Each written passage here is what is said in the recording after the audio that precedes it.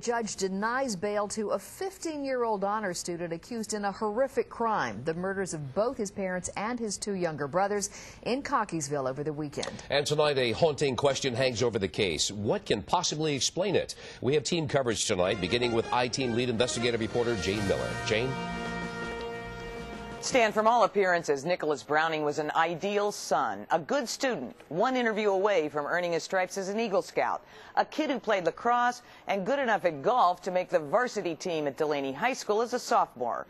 But today, there he was, sitting in jail before a camera for his bail review, accused of four counts of murder. Dressed in a prison jumpsuit, his hands folded on his lap, 15-year-old Nicholas Browning was composed and polite today during a brief court hearing, answering yes ma'am when a judge asked him if he understood the charges against him. The charges are horrific.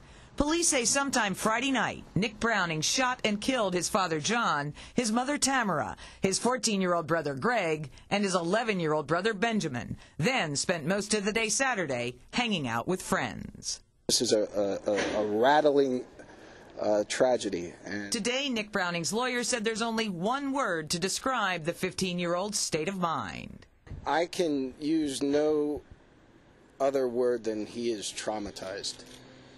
That's the only way to describe him. This is uh, obviously a, a mind-shattering, horrific uh, circumstance that, that he is in. In court, a pretrial investigator said there's no indication the teenager abused drugs or alcohol, and no evidence he'd ever been in trouble before. Police say they'd only been called to the Browning home once in the past eight years for a burglary complaint. There's nothing in his background which would indicate um, that he would have any indication of, of, of committing such an alleged horrific crime.